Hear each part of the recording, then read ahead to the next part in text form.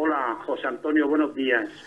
Bueno, el día 8 de septiembre, un día 8 que será atípico, pero que no obstante se celebra la patrona. Es el día ¿no? de Nuestra Señora la Virgen de las Virtudes. La coral Ambrosio Cotes va a estar presente en esa misa, no vamos a decir la palabra mayor, pero en esa misa que se acentúa más a la patrona.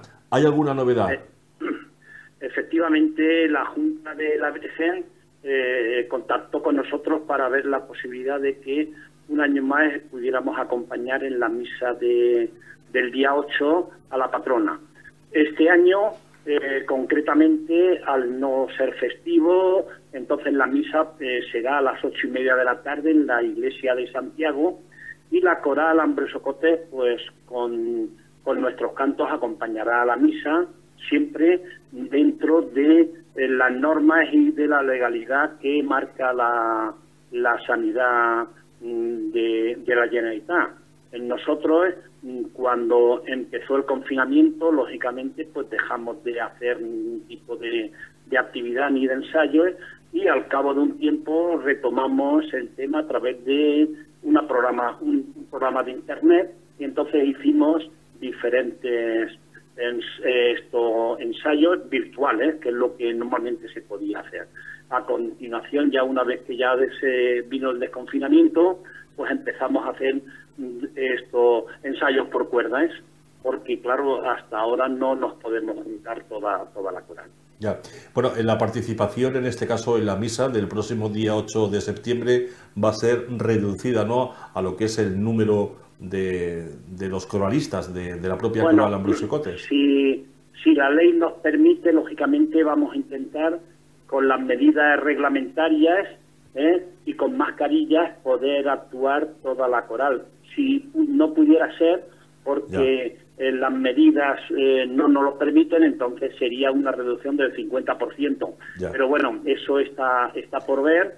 ¿eh? Y estamos estudiando todo aquello que nos da la posibilidad de poder hacer los cantos. Fernando, eh, cantar con mascarilla no tiene que ser nada cómodo. No es cómodo, es igual como... Lo digo por coger el aire, etcétera, lo que Pasa, lo que ocurre que, claro, lógicamente, pues, aunque son mascarillas que hemos pedido, es la misma mascarilla que está utilizando el Coro Nacional de España. O sea, es un tipo de mascarilla que está homologada para poder cantar y para que todo lo que vayamos expulsando y tal, que se vaya quedando la mascarilla, que no trascienda afuera de, cada persona. Pero aún así siempre hay unas medidas que hay que guardar y que dentro de la de lo que nos marca la, eh, la, la sanidad, pues eh, lo haremos. Ya.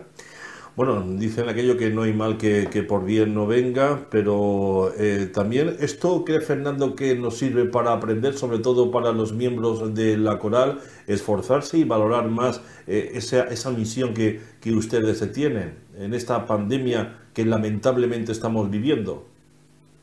Efectivamente, la verdad que eh, llevamos seis meses lamentables, pero en fin, habrá que sufrirlo como mejor podamos.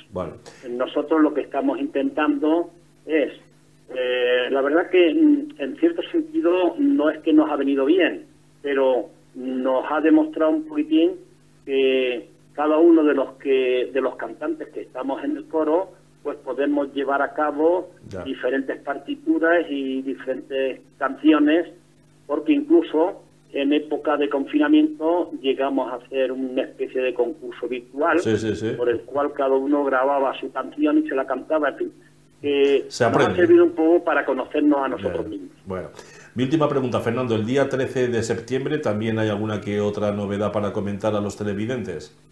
Correcto. El día 13 de, de septiembre, que es el día, el domingo, el día de la esclavitud, también vamos a ofrecer un concierto a las 11 de la mañana en la iglesia arcedianal de Santiago, ¿eh? una hora antes del, de la misa, que creo que la misa es a las 12 de la mañana, y también eh, guardando, por supuesto, las medidas reglamentarias y con, y con mascarilla. ¿Qué concierto? ¿De qué se va a basar el concierto? ¿Perdón? No, que ¿En qué se va a basar ese concierto? ¿Qué el concierto es un concierto sacro, ¿eh? Sacro. O sea que vamos a, eh, vamos a dar pues todas canciones, todo relacionado con el relacionado con la, con, la iglesia. Muy bien. Fernando Velasco, ¿algo más que desee comentar dentro de la pues actualidad de nada, la, eh, simplemente, ya que estamos en los medios y que nos, nos brindéis esta oportunidad, es un poco que conozca la ciudadanía que a día de hoy aún no tenemos la posibilidad de poder tener ensayos regulares en la Casa de Cultura, porque por motivo del conservatorio este año el aula que estábamos utilizando no lo vamos a poder utilizar. Entonces estamos buscando a ver cuál es el remedio que el ayuntamiento nos da. Esperamos y deseamos que de aquí por lo menos en unos días podamos tener la solución en la mano. Pues ojalá que haya esa solución y que tengan ese espacio para poder llevar a cabo los ensayos. Fernando Velasco, muchísimas gracias, que vaya todo bien y que salga también muy bien esa misa de este atípico. Bueno, esto antes de terminar también quisiera eh, dar eh, mandar un mensaje de agradecimiento a la Asociación de San Antón que nos está permitiendo que hacer ensayos por cuerdas en la ermita porque no había otro lugar con unas dimensiones suficientes para poder estar como mínimo la, mitad del coro. ¿eh? Muy bien. Entonces desde aquí queremos dejar constancia de nuestro agradecimiento a esa asociación que siempre que le hemos pedido eh, ayuda, siempre la hemos tenido. Fernando, muchísimas gracias. Que vaya bien esa atípica celebración del día 8, pero bueno, sacaremos lo mejor de lo mejor para estar cerca de la patrona de Villena. Correcto.